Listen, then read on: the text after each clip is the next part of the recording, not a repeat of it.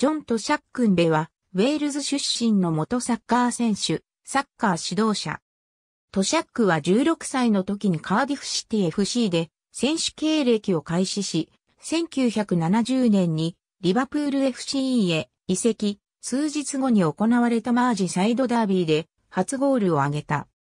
リバプールでは8シーズン間に246試合に出場96得点を記録。特にケビン・キーガンとのコンビネーションの良さは有名で、共に数多くのタイトル獲得に貢献した。1975から76シーズン9月チャンピオンズカップハイバーニアン FC 戦ではハットトリックを達成した。1977から78シーズンの UEFA チャンピオンズカップ決勝、ボルシア・メンヒエングラットバッハ戦で負傷し、翌1978年2月にクラブを退団した。2006年には、リバプール FC のファンが選ぶファンに衝撃を与えた、選手の選出で、第34位に選出された。1978年にスウォンジーシティ AFC へ移籍し、選手兼任監督を務め、1983年に現役を引退した。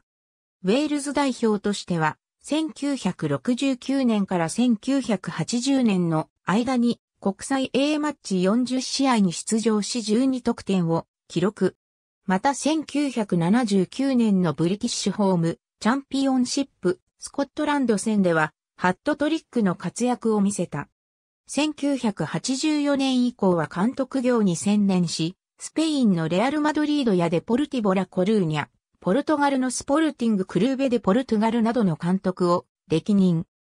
2004年11月にウェールズ代表監督に就任し、通算53試合で22勝7分け24敗の成績を残したが、UEFA ユーロ2012予選の初戦に敗れた後に辞任した。2011年8月、ミルサド・ヨヌス監督を解任したマケドニア共和国代表監督に就任したが、8試合で采配を振って1勝しかできず、マケドニアサッカー協会と双方合意の上で2012年8月に辞任した。リバプールの監督就任要請は1982年、1988年と2度あったが、いずれも就任を拒否した。ありがとうございます。